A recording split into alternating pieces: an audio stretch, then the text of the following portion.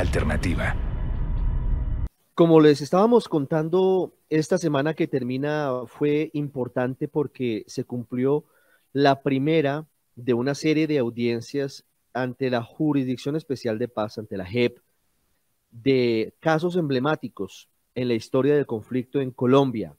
Van a comparecer en ese mismo contexto de audiencias únicas Salvatore Mancuso, alias Jorge 40, otros ex paramilitares y también la JEP ha decidido escuchar en esas audiencias únicas a algunos de los condenados o posibles responsables de las desapariciones durante el holocausto del Palacio de Justicia. Uno de esos citados ha sido el general Jesús Armando Arias Cabrales, condenado a 35 años de cárcel por estos hechos por la Corte Suprema de Justicia y que ahora busca obtener los beneficios de la JEP, beneficios penales de la JEP. Las audiencias fueron dos en total y al final terminaron siendo caracterizadas por la ausencia de detalles o de reconocimiento de responsabilidad del general Arias en los hechos dolorosos del Palacio de Justicia. Y al final las víctimas fueron las protagonistas. Por eso hoy hemos invitado al radar aquí en Blue Radio, en blueradio.com, en nuestras plataformas de video, a una de esas víctimas que representa no solamente su caso, sino la lucha de todos los que han estado durante estos 37 años buscando la verdad de lo que pasó en la toma cometida por la M19 y retoma adelantada por el ejército en el Palacio de Justicia. René Guarín es el hermano de Cristina del Pilar Guarín, empleada de la cafetería del Palacio de Justicia, cuyos restos aparecieron hace poco tiempo, algunos fragmentos después de una búsqueda de más de 30 años. René, gracias por estar con nosotros, bienvenido al radar. Ricardo, eh, un cordial saludo para usted y un saludo para quienes nos escuchan y nos ven en Colombia y en el mundo y muchas gracias. Usted ha estado a lo largo de estos años en la lucha por conocer la verdad de lo que pasó con su hermana primero, con Cristina y con todos los desaparecidos del Palacio de Justicia. Incluso hoy, buscando saber qué fue lo que pasó, cómo se produjo la retoma y, por qué el ensañamiento de algunos integrantes del ejército en contra de, algunas personas en particular, sobre todo los empleados de la cafetería del palacio. ¿Cómo interpreta lo que ha pasado esta semana con el general Arias Cabrales en la JEP? Bueno, Ricardo, es importante eh, señalar lo siguiente. El general Jesús Armando Arias Cabrales para la época de los hechos era el comandante de la Brigada 13, Brigada de Institutos Militares, con sede en Usaquén. La brigada fue eh, la jerárquica superior de todas las escuelas que operaron en la retoma del Palacio Justicia, de la Escuela de Caballería, de la Escuela de Artillería, de la Escuela de Infantería y de Ingenieros. Eh, el comandante de la brigada, eh, como tal, fue la persona máxima responsable por debajo del comandante del ejército, y del ministro de Defensa en ese momento. Lo que pasó esta semana con el general Jesús Armando Arias Cabrales, pues no es sino la corroboración de un comportamiento que ha tenido el Estado colombiano durante 37 años con el caso de los desaparecidos del Palacio de Justicia y es un comportamiento constante eh, de negacionismo, de decir que allí no hubo desapariciones del Palacio de Justicia, que allí se trató de una entrega equivocada de, cadáveres de fragmentos óseos, como usted bien lo reseña en el caso particular de mi hermana, en el año 2016, hace seis años y medio, yo recibí algo más de 11 huesos quemados, pero curiosamente eh, parte de su ropa sí estaba bien, estaba completa y no se había quemado. Son datos muy curiosos que muestran que es necesario mm, conocer la verdad de lo que ocurrió en la retoma del Palacio Justicia desde el mismo momento en que el ejército a los pocos minutos llega con los tanques hasta el final de las 28 horas de retoma. Sí. Las familias de los desaparecidos y las víctimas tenían la esperanza de que ante la JEP, ante esta jurisdicción creada en el marco del sistema de verdad, justicia, reparación y no repetición del acuerdo de paz con las FARC, finalmente se conociera la verdad sobre lo que pasó en el Palacio? ¿Han perdido la esperanza con lo que han visto esta semana con el general Arias Cabrales, que entre otras cosas no solamente ha dicho que él no sabe absolutamente nada, sino que él también ha sido víctima? Bueno, lo que ocurrió esta semana con el general Arias Cabrales, eh, digamos que inicialmente nosotros lo recibimos con cierto grado de esperanza, eh, yo diría una buena porción de escepticismo, pero con un cierto grado de esperanza, esperando que pues el general que ya pasa de los 80 años eh, fuera un hombre que llegara allí a contar una verdad, como bien usted lo reseña. Sin embargo, eso no ocurrió. El general, en efecto, se declaró víctima de una persecución eh, judicial. Él dice que él no tiene nada que ver con nada, que en el Palacio de Justicia eh, no hubo eso, que allí lo que hubo fue entrega equivocada de cadáveres, lo cual pues generó en nosotros una gran desilusión. Los familiares, digamos que eh, estuvimos presencial y virtualmente en la audiencia pidiendo al general que contara la verdad por la edad en que se encuentra eh, y por el deber que tiene consigo mismo, con Colombia, pero en especial con las víctimas de desaparición forzada, eh, para sanar esta herida. Sin embargo, el comportamiento del general es el mismo que ha tenido el Estado colombiano durante todas estas décadas. Digamos que fue preocupante para nosotros que la JEP, que era una esperanza más de paz, porque se constituyó, como usted bien dice, a raíz de los acuerdos eh, de La Habana con las FARC, fuera un escenario en donde se conociera la verdad, pero el caso del Palacio de Justicia es un caso que no ha conocido verdad ni en la justicia ordinaria, ni en la penal militar, ni eh, en, en, la Fiscalía General de la Nación, ni en la Corte Suprema de Justicia, ni en los tribunales, ni ahora en la Justicia Especial para la Paz. En la audiencia se presentaron algunos hechos curiosos o por lo menos llamativos, René, sobre todo para quienes han seguido de cerca el caso eh, durante todos estos largos años, casi 37. Uno, que el general Arias Cabrales hubiera negado la capacidad que tenía el ejército de comunicarse vía radioteléfono entre divisiones o entre comandantes de diferentes pelotones, batallones o incluso con el comandante del ejército. Y dos, el temor que pareciera tener el general Arias de contar que se hizo por parte del Batallón de Inteligencia y Contrainteligencia. ¿A qué cree que se puede atribuir eso? ¿Pueden ser olvidos naturales de la edad lo que le pasa al general Arias Cabrales?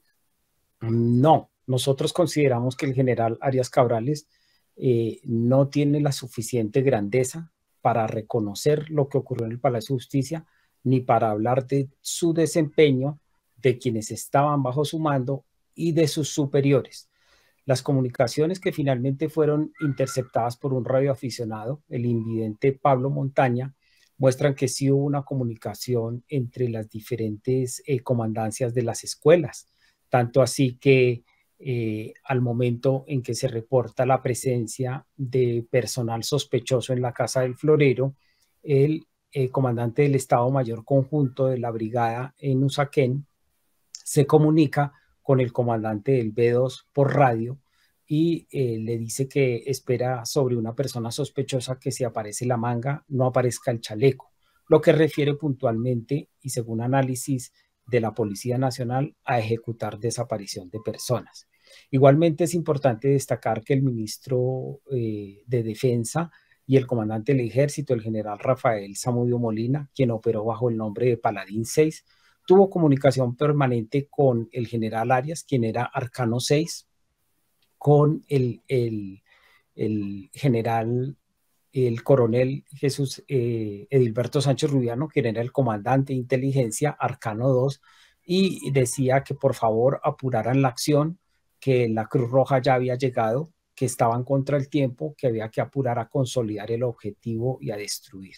Luego las comunicaciones eh, sí obedecieron eh, a un plan detallado del ejército en cuanto a que hubo una coordinación entre mandos y subalternos, no solamente para llevar a cabo la retoma del Palacio de Justicia o la recuperación del Palacio de Justicia, sino también para la comisión de delitos de lesa humanidad como fueron las desapariciones forzadas, concretamente ese audio.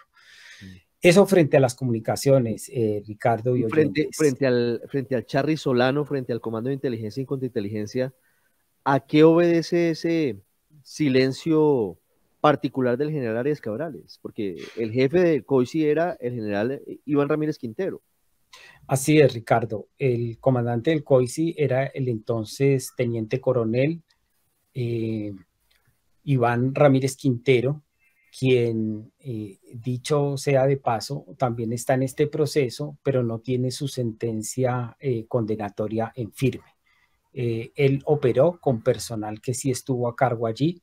El análisis de la Comisión de la Verdad a través de Forensic Architecture muestra la presencia de varios de los hombres integrantes de inteligencia en los alrededores de la Casa del Florero, a donde ya eran llevados los civiles, con carpetas y algunas veces vestidos con chalecos de la Cruz Roja, otras vestidos de bomberos y otras de civil, en donde entraban y salían y los testigos 37 años después han dicho que se trataba de personas que señalaban a presuntos integrantes del M-19, a personas que eran sospechosas o que ya salían del Palacio de Justicia, eh, señaladas por las tropas de caballería que habían entrado adentro del Palacio de Justicia. Es decir, en las desapariciones hubo todo un proceso coordinado eh, de captura y señalamiento al interior del palacio. La gente salía con las manos arriba en la cabeza, caminaba llegaba a la casa del florero, eran recibidos por hombres de inteligencia y allí eran clasificados como especiales, eh, interrogados y en algunos casos, como se ha venido a develar años después por videos incluso de, televisión española y del canal Caracol, eh, algunos como el guerrillero William Almonacid fueron subidos a camionetas eh, a la entrada de la casa del florero y llevados eh, hacia diferentes dependencias militares para ser torturados. El general Arias Cabrales, eh, nosotros sentimos que siente un gran temor, percibimos que tiene un gran temor con la gente de inteligencia, concretamente con todo el personal que comandó en su momento el general Iván Ramírez Quintero. Así lo sentimos, así lo percibimos y no creemos que se trate de un simple olvido. El general, eh, como un dato adicional, dijo que su familia había salido toda del país, lo cual es falso. Eh, su hijo, Armando Arias Izaza, es director de la DIMAR hace más de 22, 25 años y ni siquiera ha sido tocado por el actual gobierno para ser removido de su cargo. Luego el general, además de mentir, creemos que siente un gran temor hacia inteligencia militar aún presente. René, ¿qué cree usted que pasó con con su hermana, con Cristina del Pilar. Ya hace seis años y medio, usted nos cuenta, la fiscalía le entregó 11 restos óseos. No está el cuerpo completo. Eh, hay, fragmentos que muestran que efectivamente murió, pero no se saben ni las circunstancias, ni el sitio. Hay muchas dudas sobre lo que pasó con ella y con otros desaparecidos del palacio. Hoy, ¿usted qué cree que pasó con ella y con los demás? Bueno, Ricardo, en efecto es una lucha que no comenzó ayer y que considero que no va a terminar mañana. Es una lucha que completa ya casi 40 años. Es una lucha que emprendí al lado de mis papás cuando yo tenía 22 años y salí a buscar a mi hermana eh, desaparecida en el Palacio de Justicia. Eh, además de los testimonios eh, recogidos algunos en Colombia y otros en el exterior, y además del hallazgo de los fragmentos óseos, Recuerde usted que los fragmentos, así sean pocos, eh, hablan, el cuerpo habla. En el caso de mi hermana, eh, la tercera vértebra dorsal eh, aparece rota, lo cual indica, según peritos de la misma, del mismo Instituto de Medicina Legal, que primero fue asesinada y después fue dejada para que se quemara y apareciera como muerta en uno de los incendios del palacio. Luego mi hermana mm, considero que a raíz de ese eh, peritazgo científico se demuestra con la tercera vértebra dorsal que aparece eh, no quemada eh, por fuera, pero sí quemada por dentro y rota, que fue una persona que fue asesinada y llevada al palacio para hacerla aparecer como, como muerta producto del incendio. Y es una fase comportamental que se da con varias de las personas reportadas como desaparecidas. Y es que eh, las personas eran sacadas y al parecer después eran ingresadas al Palacio de Justicia, no solamente por testimonio, sino por estas evidencias científicas. Es algo que el Estado colombiano no ha reconocido al detalle, eh, diciendo simplemente que esto se trató de una confusa entrega de cadáveres. Mm. René, ¿qué falta o qué acción podría esclarecer lo que pasó en el Palacio de Justicia? La gente era una esperanza, pero hoy eh, usted nos dice, finalmente el caso del general Arias Cabrales les ha demostrado a ustedes que, pues lamentablemente, no pareciera ser el escenario en el que se va a conocer, al menos por parte de, protagonistas de, lo que pasó, la verdad de lo que pasó. Eh, eso es muy cierto, Ricardo. Nosotros eh, ya hemos visto que en la Jurisdicción Especial de Paz definitivamente van algunas personas eh, postuladas, pero que no aportan mayores elementos de verdad. Y eh, nos preocupa que eso esté pasando porque estamos concluyendo, no solamente los familiares de los desaparecidos del Palacio de Justicia, sino las víctimas de otros crímenes de Estado, que eh, el escenario de cierre del conflicto para conocer la verdad no es la justicia especial de paz. La Justicia Especial de Paz yo creo que ya decantó, decantó como escenario en donde se conozca la verdad. La verdad tiene que ser conocida mediante eh, la revisión de documentos, la revisión de filmaciones, la revisión de órdenes, la revisión de audios. Y esa información definitivamente es una información que reposa en archivos de inteligencia del Estado colombiano. Concretamente es necesario que eh, las víctimas eh, se apropien o nos apropiemos de una causa en donde le exijamos al, actual gobierno, al actual presidente, que eh, la información de inteligencia que reposa en el Archivo Nacional y que tiene información que data de décadas completas, sea desclasificada y sea conocida para tener la certeza de la verdad del conflicto.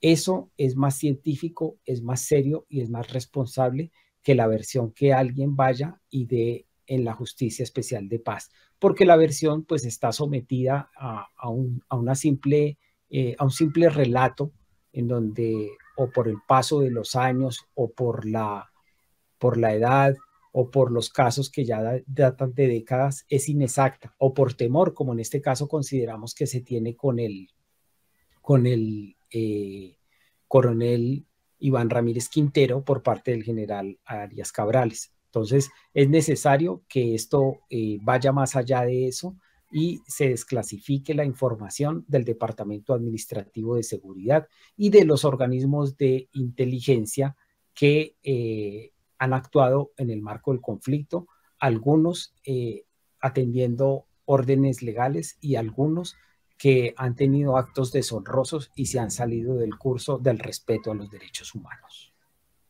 ¿Qué entidades proveyeron o entregaron el archivo de inteligencia que está hoy en el edificio del Archivo Nacional? ¿Quiénes podrían tener esa información que dé al final la posibilidad de esclarecer lo que pasó en el, en el Palacio de Justicia, René? Bueno, la información de inteligencia, eh, concretamente del Departamento Administrativo de Seguridad DAS. Eh, que eh, fue clausurado en el año 2010, producto de todos los escándalos sobre chuzadas a periodistas, a políticos y a magistrados, entre otros, es una información que se encuentra en el Archivo Nacional y que está, digamos que, protegida por la misma Justicia Especial de Paz. Ahí, allí la Justicia Especial de Paz, la JEP, tiene una medida cautelar sobre, sobre esa documentación, sobre esas cajas, sobre eh, esas fotografías, esos audios, esos cassettes, pues que es la información del Estado colombiano eh, desde la época de la Central de Inteligencia, algo más de 100 años está allí de información y esa información es de interés eh, público, de interés para el cierre del conflicto. El cierre del conflicto definitivamente no va a ser a través del escenario de la justicia especial de paz. El cierre del conflicto va a ser a través del desarchivo de la información de inteligencia, concretamente del desarchivo de la información del Departamento Administrativo de Seguridad DAS, que tiene medida cautelar de la JEP y que se encuentra, como bien usted lo menciona, en el Archivo Nacional. René, ¿usted ya le hizo esa petición o, o las víctimas le han hecho la petición directa al presidente Petro para que permita el acceso a esos archivos? Es una tarea que tendrán que emprender las organizaciones de víctimas en Colombia a través de, eh, más que una petición, creería yo, o además de una petición al presidente, una acción de tipo judicial en donde quien tiene eh, la custodia eh, y la medida cautelar sobre esa información permita que ella sea conocida. La información puede ser conocida, eh, tiene que ser tratada con mucho cuidado porque se pueden romper hojas de, que, que tienen más de un siglo, tiene que ser sometida a un proceso de OCR, de Optical Character Recognition, para que la documentación pueda, eh, digamos, tener el hallazgo de puntos claves sobre asesinatos, desapariciones, ejecuciones extrajudiciales, masacres y demás. Y tiene que eh, tener una cadena de custodia, ser almacenada y llevada a un sitio en donde sea de dominio público. Le, preguntaba si habían hecho la petición al presidente Petro porque sería importante saber de quién depende la decisión de que pueda ser pública esa información. Entre otras cosas, se ha generado inquietud en algunos sectores frente a esa posibilidad. ¿Cómo podría ser viable la liberación de esos archivos de inteligencia? Bueno, eh, la liberación de los archivos de inteligencia definitivamente responde a una voluntad política y a una voluntad jurídica. Si el presidente quisiera, él eh, puede decretar eh, la apertura de los archivos de inteligencia del Estado colombiano que reposan en el Archivo Nacional. Pero si, digamos, vía ejecutivo eso no se logra, hay la posibilidad de solicitar a la Justicia Especial de Paz el levantamiento de la medida cautelar por el supremo derecho a la verdad. Por el supremo derecho a la verdad, toda vez que está demostrado que en la justicia especial de paz no se está conociendo la verdad y por tanto la herida del conflicto y las heridas del conflicto siguen abiertas por ausencia de verdad. Eh, el caso del Palacio de Justicia es un claro ejemplo un caso que data de cuatro décadas, un caso que ocurrió en el centro político y neurálgico de Colombia, donde queda la presidencia de la República, el Congreso, la Alcaldía Mayor de Bogotá, la Arquidiócesis de Bogotá y el Palacio de Justicia, y se ejecutaron crímenes de lesa humanidad y aún así con la presencia de medios nacionales e internacionales no se ha podido conocer la verdad. Eh, los versionados que han ido a la JEP no cuentan la verdad, eh, este caso tuvo la Comisión de la Verdad para el caso del Palacio de Justicia, pero no llegó a la verdad. Tuvo la Comisión de la Verdad presidida por el padre de Rux y hubo unos adelantos, pero no se llegó a la verdad. Concretamente, una petición que yo hiciera sobre el papel que jugó Estados Unidos con el Comando Sur en Panamá aportando los explosivos para ejecutar la retoma y poder romper las paredes que unían al piso cuarto y quinto y dinamitar un baño donde se encontraban algunas personas. Eso no tuvo prosperidad. Estas versiones no, no han tenido, digamos, mayores avances, por lo tanto es necesario desarchivar los documentos de inteligencia, concretamente los documentos del TAS que reposan en el Archivo Nacional. Esa petición cobija los archivos en general o, solamente lo que tiene que ver con el Palacio de Justicia en su petición, René? Pues mire, la, información que está allí no es una información que esté eh, debidamente organizada. Entendemos que es una información que fue dejada allí al momento en que el Departamento Administrativo de Seguridad DAS desaparece y se crea la Dirección Nacional de, de Inteligencia, que digamos que como que subsume las funciones luego de la implosión del DAS como organismo que se hizo eh, insostenible por la comisión de, seguimientos ilegales, de chuzadas a políticos, a magistrados y a periodistas. Allí está la información del conflicto en general, allí están los seguimientos que se hicieron desde el Estado colombiano en la época de la Central de Inteligencia, después toda la época del DAS, la época de Maza Márquez, de todos los directores que pasaron por el DAS, de Jorge Noguera y demás, hasta eh, llegar a, a la finalización en 2010. Luego allí está la información en general del papel y del accionar del Estado colombiano en materia de inteligencia. René Guarín, familiar eh, y hermano de Cristina Guarín, una de las personas víctimas durante el holocausto del Palacio de Justicia con nosotros hoy en el radar. René, muchas gracias. Estaremos pendientes de su petición al presidente y a la JEP. Muchas gracias, Ricardo, y gracias a todos los oyentes y televidentes y un feliz día. Blue, la alternativa.